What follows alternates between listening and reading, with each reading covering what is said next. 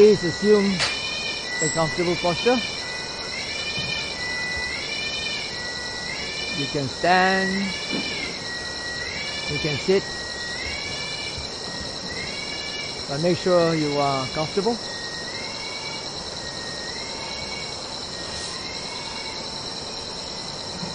Because I want to require you to keep absolutely still as best as you can.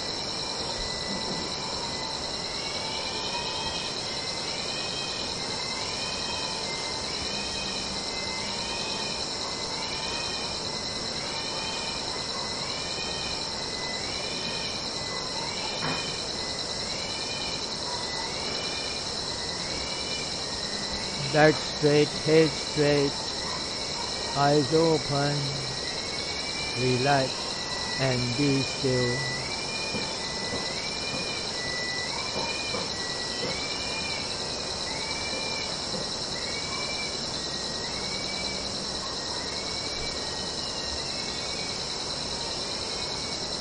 Keep your eyes open, maintain an unfocused gaze.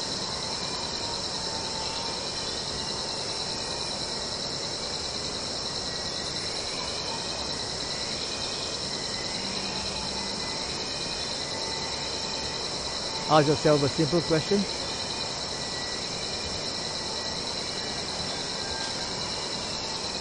What's the mind aware of?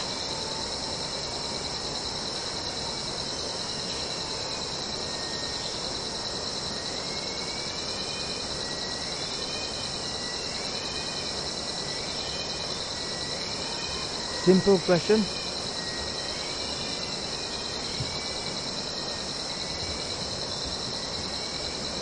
But it has very profound implications.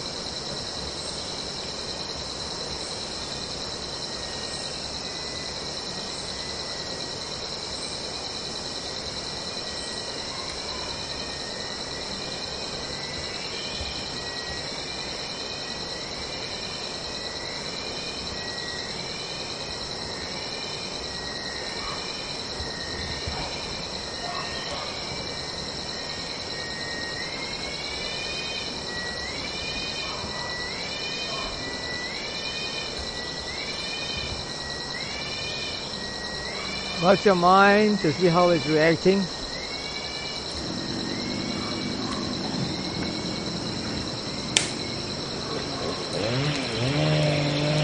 Other anchor. Level Don't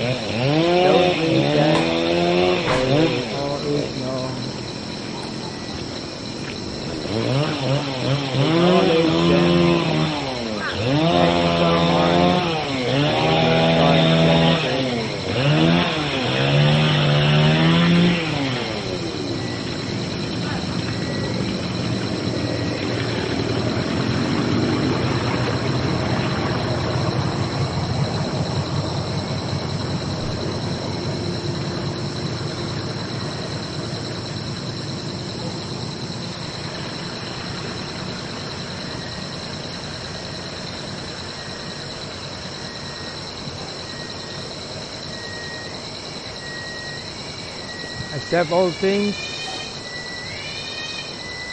as products of causes and conditions to which you may not be able to experientially understand in the moment.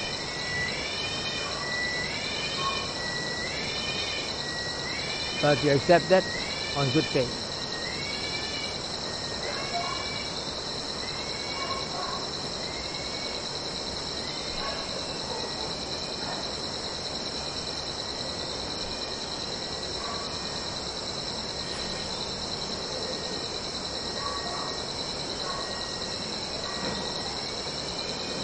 That will create a wholesome attitude of mind and allow you to go on to the next step, which is don't reject, follow or ignore.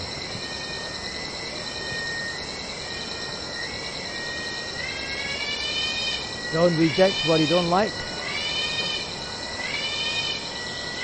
Don't follow what you like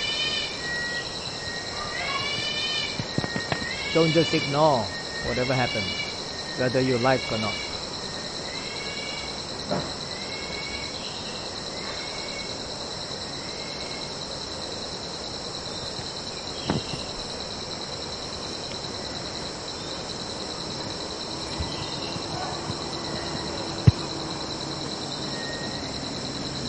So if you don't ignore, what do you do? You acknowledge it. Is it dislike? Is it a memory? Is it an instantaneous recognition? Is it a comment? Whatever it is, know what it is. Acknowledge it. And let it go by coming back to your senses. Anchor your mind to the five senses.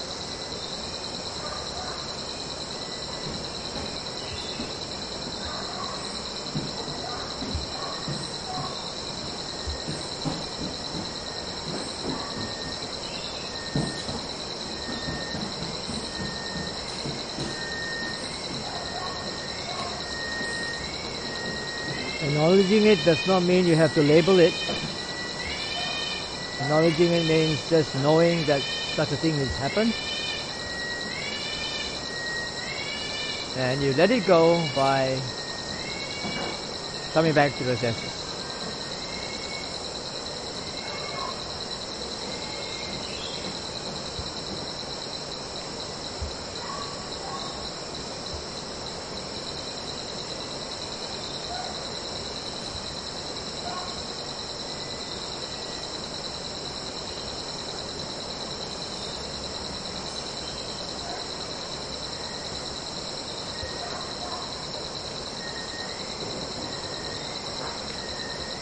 And while you are with the senses, remember free and easy, touch and.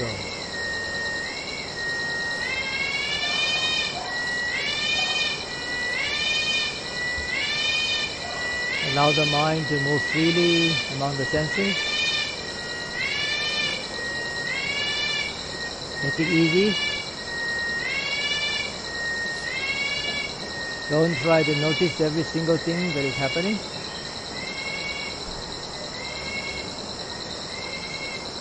Be content with whatever the mind can pick up.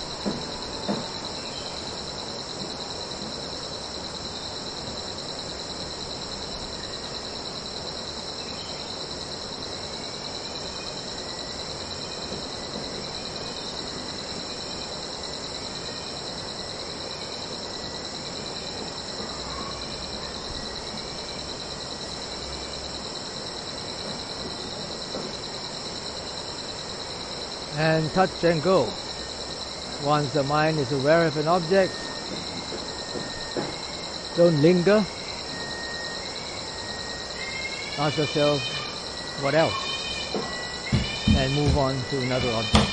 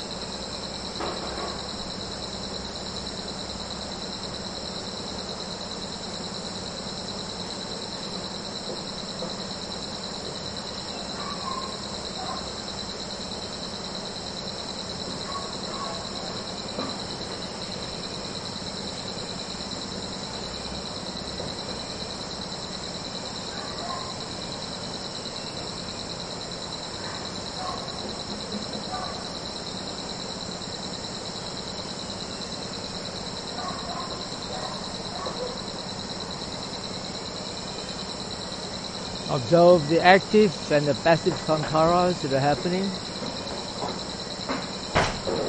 within yourself, within your mind.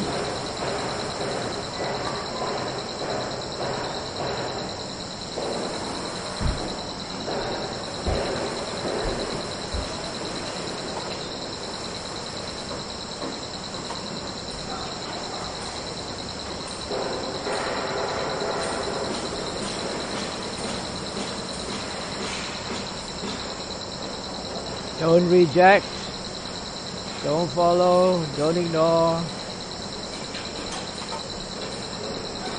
Acknowledge and anchor yourself to the five senses.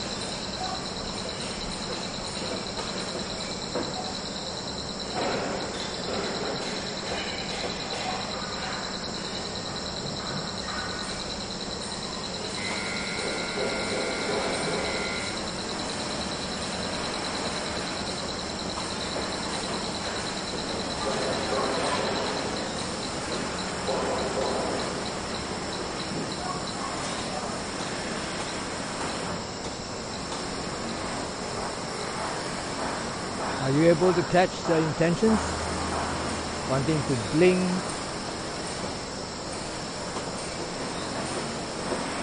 wanting to scratch, wanting to move your limbs to feel more comfortable.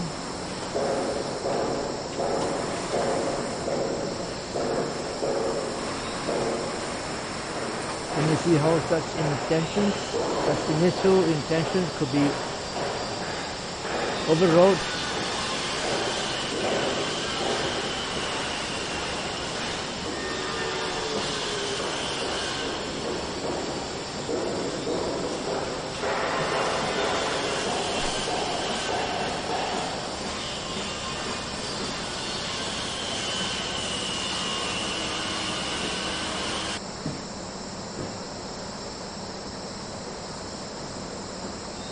An intention to move might first arise, followed by another intention not to move,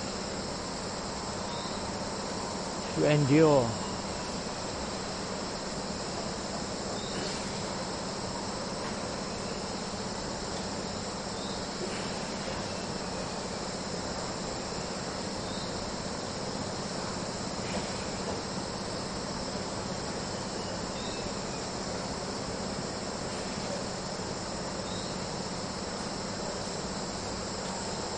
If you can see that, and your mind is sufficiently composed,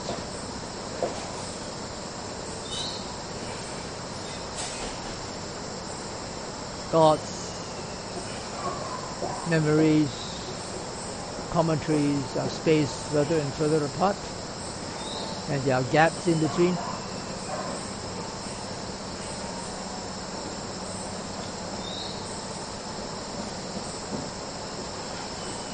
Then you can incline your mind to verify the three characteristics.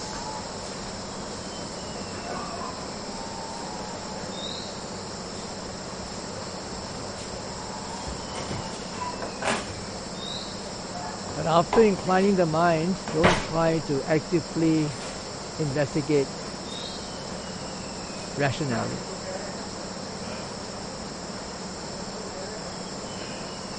Just arouse the wish of wanting to verify, wanting to experience, and then come back to free and easy, touch and go.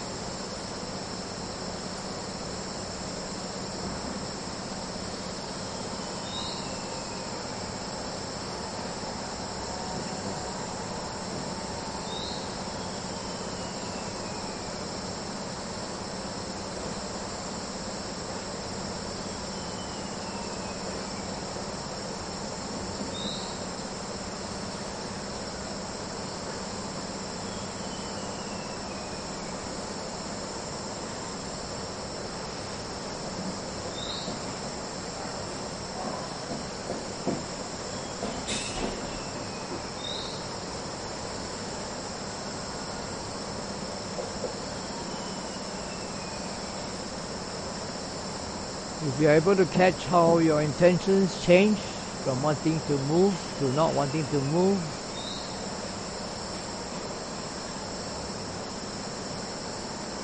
You might be able to also understand the causes and conditions.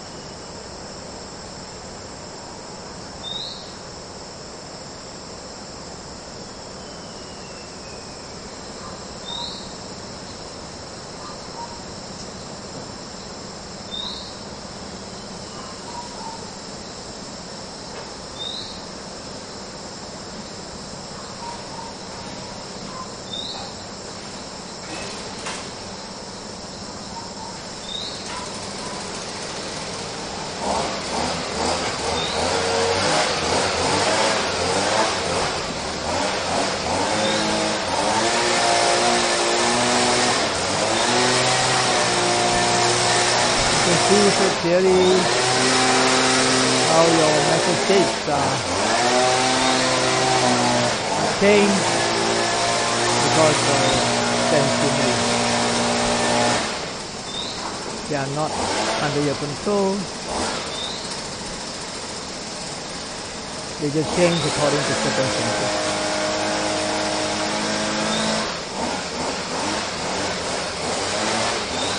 But you have a choice of wanting to proliferate them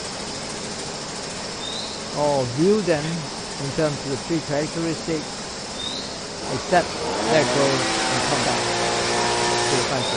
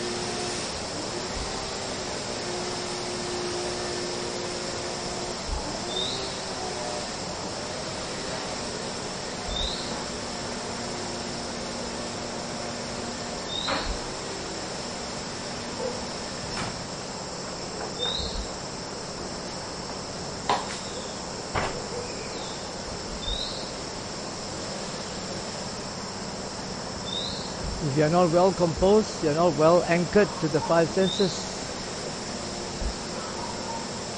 you'll probably drown in your reactions to undesirable sense stimuli.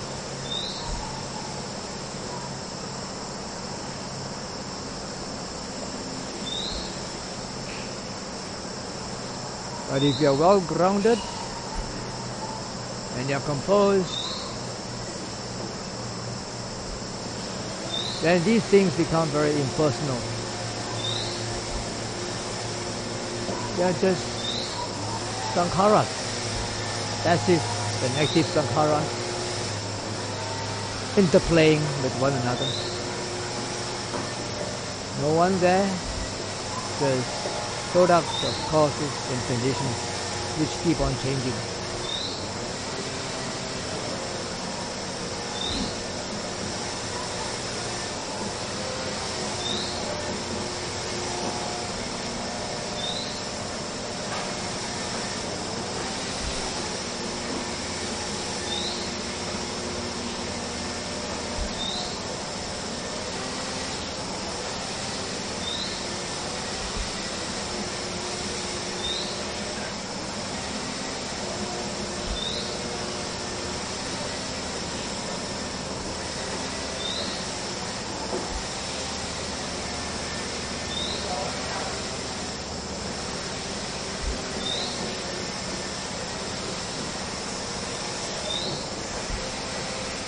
I was just about to introduce you to cause, condition, and effect. So just now when you were doing the guided meditation, and I asked you to try to stay absolutely still, I'm sure you would have noticed intentions arising within yourself, in your mind of wanting to blink, wanting to move your limbs or scratch or whatever, or even turn your eyes around because of something that catches your attention. And then you could also notice that there is another intention that counteracts that. Instead of following that initial intention, you stop and you don't. So these two are actually the products of causes and conditions. When I use the word cause and condition, I'm very specific. Cause means present circumstances and conditions refer to past experiences, information, and so forth. So let's say an intention arose to scratch. How did that intention arise? There is a cause and condition behind that. The cause, of course, is the itch. There's an itch somewhere in your body. And there's also the desire of wanting to relieve yourself of the itch, which, also, which is based on past conditioning. Because you were itchy before in the past, you had scratched and you felt nice. So that past conditioning and present causes now, and that includes also the desire to want to feel pleasant, cause that intention to arise. The same also when you are exposed to all the different sound effects during the guided meditation. You can see how your mind reacts to some of them and how you try to subdue those reactions and try to follow instructions to come back to the senses. But it requires a degree of composure before you can do that. Otherwise, as I said, you will drown in your reactions. So, trying to come back to the five senses is something very practical you can do throughout the whole day. As long as you are not engaged in productive mental activity. So if you are not engaged in productive mental activity, by default you should train your mind to be aware of what's happening at the five senses, the so-called present moment awareness. But if you have something productive and important to attend to, of course, you have to attend to it. Otherwise, if any unnecessary commentary or thoughts arise in your mind and you recognize them, then just acknowledge them let them go by coming back to your senses. So in that way, you maintain a dynamic composure throughout your daily life. And whenever anything arises, because the mind is composed, it can understand how to handle the situation more effectively and quickly.